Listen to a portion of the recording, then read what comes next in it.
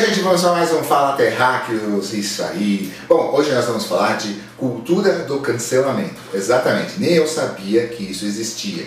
O que, que é cultura do cancelamento? É simplesmente quando acontece isso. Né? Alguém famoso, ator, atriz, cantor, sei lá, alguém famoso, alguém que está na mídia, né? uma celebridade, né? Posta ou fala alguma besteira né? na mídia ou na TV em algum lugar, e a partir daí os grupos que se acham ofendidos começam a cancelar essa pessoa, ou seja, pede para o público, né, para quem é fã, deixar de seguir, né, deixar de seguir a carreira e tudo mais, fazem assim um boicote contra aquela pessoa. Né? Não sabia que isso existia.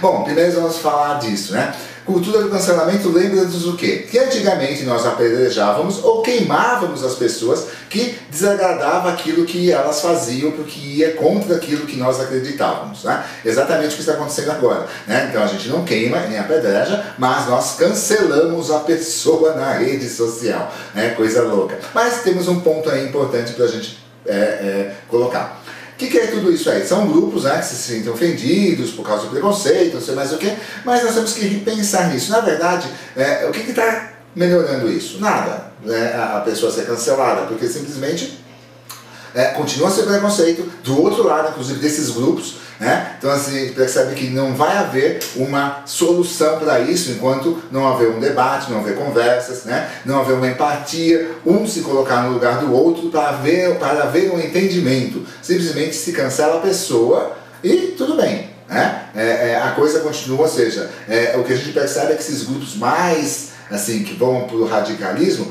querem os seus direitos reconhecidos. Tudo bem, mas só que nós todos queremos direitos reconhecidos, mas além dos direitos reconhecidos existe uma outra coisa. Onde estão nossas responsabilidades? De entender porque o outro é assim, de tentar educar o outro, de tentar nos educarmos, de haver uma compreensão mútua. Enquanto continuar esse apedrejamento né, de um lado e do outro, não vai se resolver nada. E ao mesmo tempo, essa cultura de cancelamento, ela dura pouco. O que percebe-se é que acaba colocando quem falou besteira ou fez a besteira lá em evidência, né? a pessoa começa a ser mais visualizada na verdade, depois de uns dias isso é esquecido e a coisa continua. Ou seja, preconceito ou o problema ali é, mostrado pela pessoa, é, que o outro grupo ali simplesmente resolveu cancelar, não é resolvido.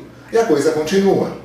Então assim, tudo está errado na verdade. Né? Os grupos aí que querem seus direitos e não veem suas responsabilidades, que seria o mais justo, né? e que ao mesmo tempo acaba por atacar e ao mesmo tempo acaba sendo igual àquele que simplesmente cometeu a gafe ou falou a besteira. Mas também temos que ver é, muito radicalismo em tudo isso, né? Esse politicamente correto é, é, um saco do cacete. Ou seja, né? é muito chato, né? tudo não pode, não pode aquilo, não pode isso, né? a pessoa não pode se fantasiar do que ela quer. Gente, vamos liberar isso, pelo amor de Deus. Quando a gente se fantasia, a gente não está é, ofendendo ninguém, é simplesmente uma grande brincadeira. E as pessoas estão levando isso a tanto assim, né? Ah, está lidando comigo comigo, está mexendo com a, minha raça, com não sei o quê. Gente, vamos parar com isso, vamos ser mais felizes, tá? Esquecer essas coisas, mas vamos lembrar nossas responsabilidades, né? Haver o debate, haver ali a o diálogo para que as coisas entrem no ritmo de educação. Não adianta as pessoas serem canceladas, apedrejadas ou queimadas, mas a coisa continua do mesmo jeito. É só uma coisa que vale, é,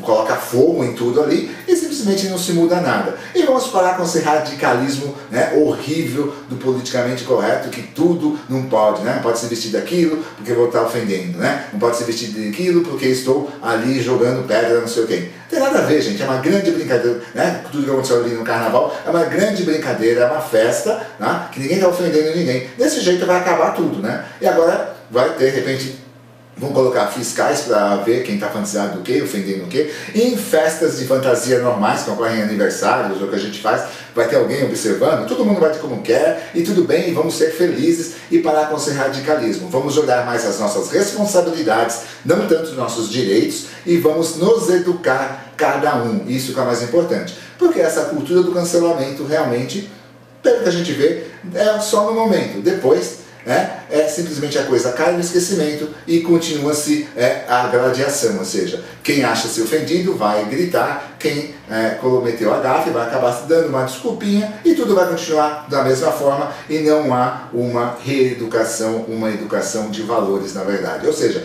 todos os lados né, estão agindo da mesma forma, todos sendo preconceituosos da mesma forma. Ou seja, né, tem aquela coisa, é, que a gente está reparando nesses grupos radicais que lutam pelos seus direitos e esquecem as responsabilidades. Né? Estão se fechando, ou seja, não pode haver uma mistura, parece. Não pode é, um entrar no grupo do outro, né? cada um está se separando. Então aí está uma segregação que está totalmente errada. E deveria se ver essa diversidade que todo mundo fala. Todos se unirem, todos falarem, todos dialogarem. E isso não está acontecendo. E aí inventam essa cultura do cancelamento, que é uma grande bobagem. É isso aí. Vamos pensar mais nas nossas responsabilidades, na forma de educar, na forma de dialogar e não na forma de ficar gritando nas redes sociais, batendo no peito sobre os seus direitos, sobre estou sendo ofendido. E na verdade, tudo isso é um grande preconceito de ambos os lados. É isso aí, gente. Vamos ser mais felizes e não ser tão radicais e vamos brincar mais, ser mais é, leves e livres, com a, e leves